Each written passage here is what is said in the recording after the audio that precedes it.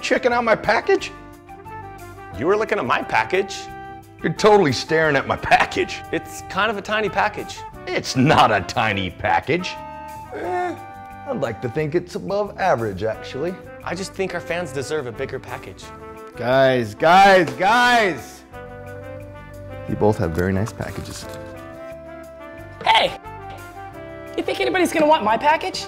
I think anyone would be lucky to have your package, Dwayne. I hope somebody's gonna want my package. Don't worry, Jake. You have a very nice package.